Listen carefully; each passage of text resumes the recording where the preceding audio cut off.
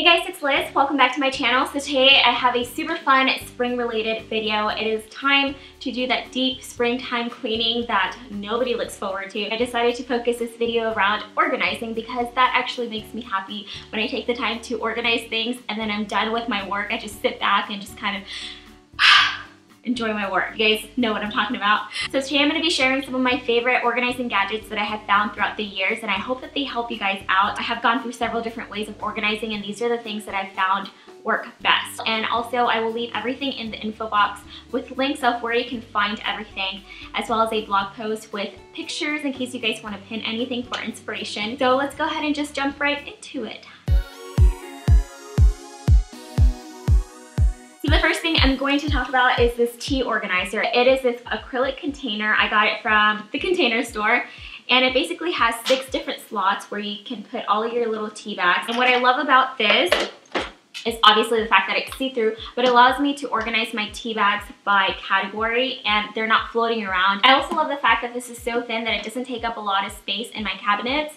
The trick to fitting as many tea bags as possible in this is to have them staggered. First tea bag will be face up and then I will take the second tea bag and turn it upside down and place that right behind it. So it allows for more tea bags to fit. So if you put them all the same way, then the bottom part gets really chubby and you have all this wasted space at the very top. Another favorite organizer, also for the kitchen, it's this little baby right here, I use this for spices. So instead of having my spices in the cupboards like you normally expect them, I have them in the drawer. It's right next to my stove, so it makes it a little more efficient because whenever I'm seasoning while I'm cooking, I just pull it out from the drawer instead of having to reach up on the cupboard. And I just love the way that they look. They look so neatly organized whenever they're all stacked next to each other. If you do have the additional drawer space and you want to preserve some cupboard space, I highly recommend you try these. And this is also from the container store, by the way. Another kind of kitchen related item. This is more for the pantry. These little airtight containers, your food is gonna last a lot longer, but my favorite part is that I can see everything. They're by the brand OXO.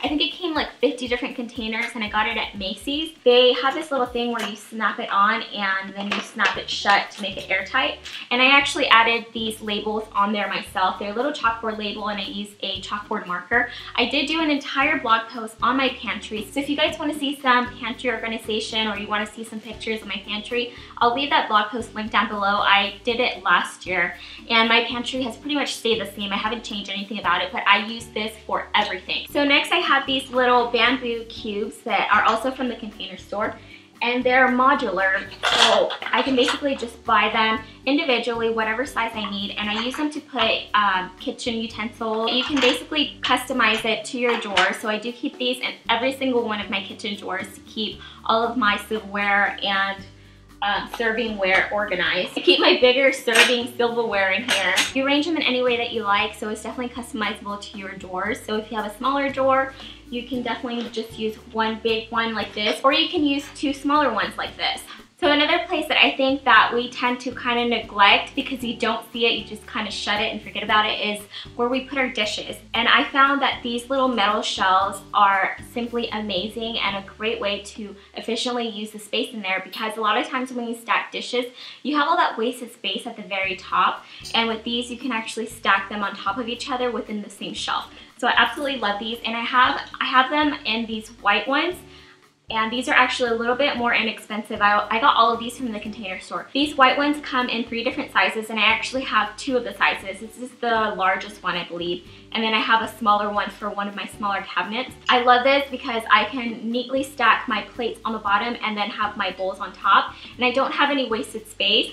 Before I used to have all my dishes going all the way up the cupboard and I used to always have to call my husband over to grab some of the plates at the very top because I couldn't reach or I had to go and get a stepping stool which is just a pain in the butt or sometimes I would even actually like climb up the counters which probably shouldn't be doing that. but these are amazing because it allows me to have all of my dishes right there. And then I can utilize those shelves at the very top for things that I don't use as often. And then this one is great for those smaller cabinets. And I actually use this in the cabinet where I have all of my coffee supplies because it fits all of the plates nicely on the bottom and then I can use the top to stack up uh, like coffee cups or just really anything that needs to be stacked on top. And It just makes it way easier. Now when I open up the cabinets, everything looks so neatly organized. And one of the most recent things that we added to our kitchen were these rollout cabinets. This is probably the most labor intensive one out of everything that I mentioned because you do have to have some tools to install it. You have to drill it into your cabinets. These rollout organizers come in different sizes. Definitely make sure you have your measurements in handy so that you get the right ones. As you can see over here on the left hand side, I have the larger organizer, which is intended for pots and pans.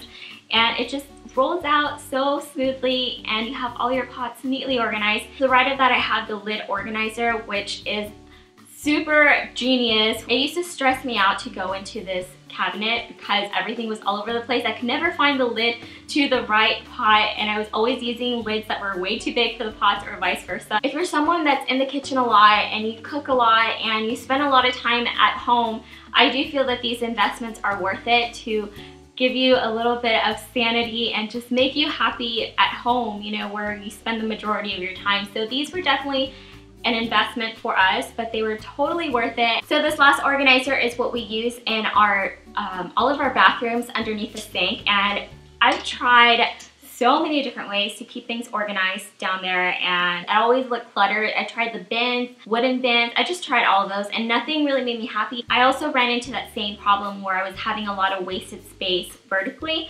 So I found these at Bed Bath & Beyond and they're like these mesh stackable drawers the top part actually comes off and then the bottom part is actually it's an actual drawer that pulls out. You can basically customize them according to your cabinets. So I could actually fit two of these under the sink. I wanted taller items on one side, I wanted this on the other side for smaller items and to keep them contained. So this is where I keep all of my backup things like backup toothpaste, lotions, just anything that hasn't been opened yet but I want easy access to in case I jump in the shower and I realize that I'm out of body wash. I can just reach under my sink instead of having to go all the way to the linens closet. Let me know what some of your favorite things that you've ever found to organize with are or if you have like any DIYs or anything like that. Let me know in the comments down below. Before you leave, don't forget to hit that subscribe button or you can also find it down in the info box. There's a little link where you can click on it and it'll take you you to my page where you can subscribe. And I will talk to you guys on my next video. Mwah.